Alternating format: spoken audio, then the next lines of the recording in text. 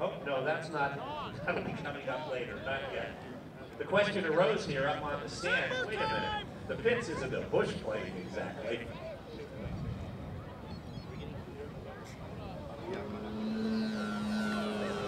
The term bush derives from pilots who fly mostly in the north, Alaska, where there are few, if any, paved airports.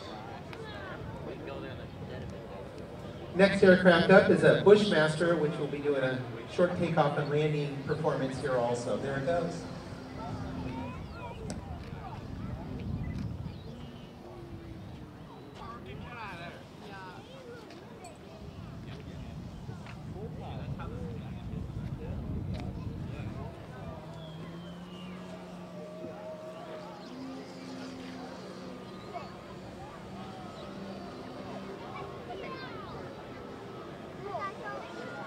The slow flight characteristics of these aircraft, of course, makes them highly maneuverable, which is why they're able to perform the maneuvers that you're seeing them do now.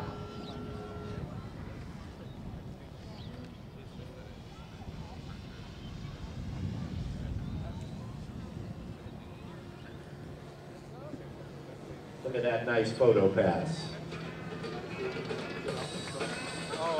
Don't matter to me.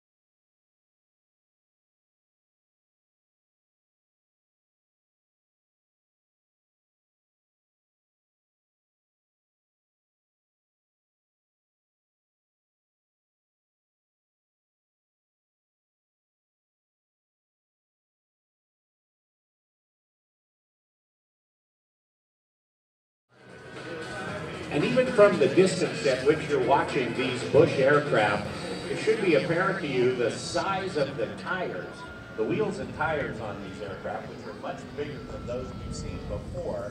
And of course, that's because, as we mentioned earlier, they are so often called upon to land on rough surfaces.